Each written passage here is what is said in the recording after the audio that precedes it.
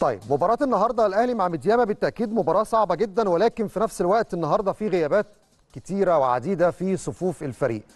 تنوعت فكرة الغيابات ما بين إصابات أو وجهات نظر فنية إلى مارسيل كولر ولكن أبرز الغيابات بسبب الإصابة أنتوني موديست وعلي معلول ومحمد الضو كريستو بالإضافة إلى رضا سليم الغائب منذ أول نوفمبر بعد الإصابة التي لحقت به في مباراة سان داونز في إياب الدور نصف النهائي في الدوري الأفريقي لكرة القدم. النهارده في 10 لعيبة ما يقرب من 10 لعيبة. ده جزء كده من مران الأمس اللي كان في ملعب التتش في الجزيرة. بيبقى أول ربع ساعة من التدريب مسموح بالتصوير طبقا للعمل الإعلامي اللي بيحدده الاتحاد الإفريقي في دور المجموعات وبدءا من دور المجموعات في الدوري الأبطال الإفريقي.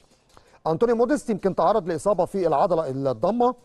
علي معلول كان عنده إصابة في العضلة الخلفية وكان بيواصل برنامجه التأهيلي في الفترة الأخيرة ولكن الجهاز الفني فضل راحه يعني علي معلول عشان يكون جاهز في الفترة اللي جاية.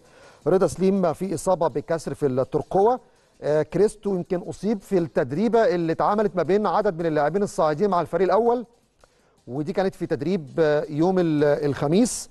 تعرض لإصابة في بجزع في الرباط الداخلي للركبة. وكمان محمود متولي وعمرو السولية لسه راجعين طبعا من فترة غياب طويلة جدا. فالجهاز الفني فضل ما يكونوش موجودين في المباراة الإفريقية.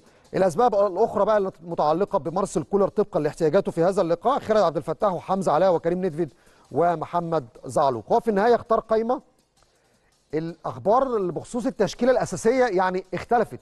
في ناس تقول لك ممكن يبدأ بمحمد هاني وفي ناس تقول لك لا الأفضل هيبدأ بأكرم توفيق. وهنا وجهات النظر بتختلف طبقا للرؤية الفنية. لو عايز تكسب وعايز تعمل أداء هجومي ممكن تبدأ بهاني. لو الجبهة ديت فيها أداء هجومي قوي لفريق ميدياما يبقى الأفضل تبدأ بأكرم توفيق. الجبهة اليسرى لا بديل عن وجود كريم الدبيس لأن كمان علي معلول مش موجود وخالد عبد الفتاح البديل كان ممكن يلعب في أوقات معينة. بديل لعلي معلول برده مش موجود.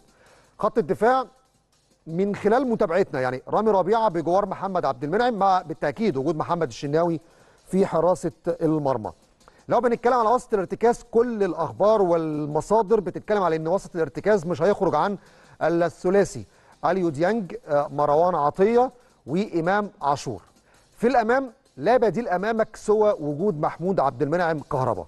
كهربا ما كانش موجود الفترة الأخيرة بسبب يعني الإيقاف اللي كان مطبق عليه في بطولة الدوري. خمس مباريات ما لعبهمش. يمكن متبقي مباراة وحيدة في الدوري يغيب عن مباراة سموحة اللي جاية وهيكون جاهز ابتداء من مباراة زد إن شاء الله. ولكن في أفريقيا النهارده كهربا هيعود للتشكيلة الأساسية في ظل غياب بنتكلم على آه أنتوني موديست مش موجود في القائمه صلاح محسن ممكن يكون له دور أو لأ؟ دي وجهة نظر مارسيل كولر. الأطراف في ناس بتتكلم اللي ممكن يبدأ ببيرسيتا وحسين الشحات. في بعض الآراء بتشوف إن أحمد عبد القادر ممكن ياخد جزء من المباراة. طاهر ما كانش بيتمرن آخر تدريبتين ثلاثة كان يعني كان عنده إصابة كده طفيفة فاتمرنش يومين ثلاثة متتاليين فبالتالي ممكن ما يكونش في التشكيلة الأساسية. يعني في النهاية التشكيلة مش هتخرج عن العناصر اللي أنا اتكلمت فيها ودي الغيابات المؤثرة اللي ممكن تكون موجودة النهارده في تشكيلة فريق النادي الأهلي.